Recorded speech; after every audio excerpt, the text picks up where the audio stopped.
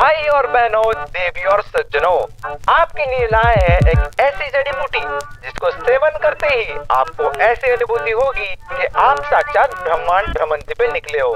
पेश करते हैं पान खोटा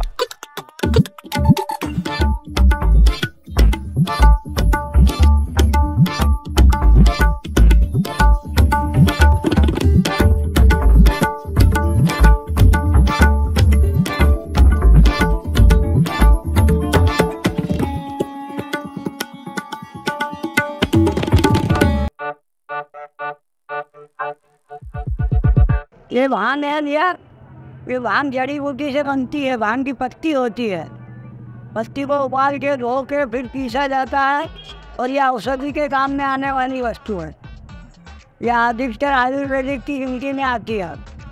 इसको पीने से आदमी तंदुरुस्त रहता है, भूख अच्छी लगती है, खाना अच्छा खाने में आता है।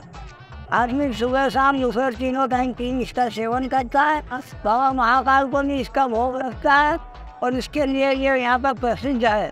लोग बाग प्रसाद समझ कर भी इसका सेवन करते हैं। जिसको जानकारी नहीं है, वो लोग भी सेवन करते हैं कि यहाँ प्रसाद है महाकाल और इसके तंदुरुस्ती अच्छी रहती है, स्वास्थ्य अच्छा बना रहता है। ऐसा कहते हैं कि रंग रहे, रूप रहे और काया रहे निरोग।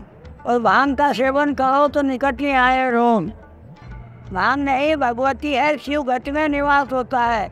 और जिस घट के अंदर जाती है, मधुर मुस्कान जगाती है। पीलो क्याला प्रेम का और करो अखिया लाल पड़े रहो दरबार में तो झक मारेगा काल।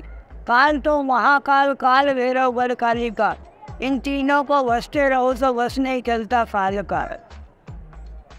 हर हर महादेव, महाकालेश्वर, भगवान की जय।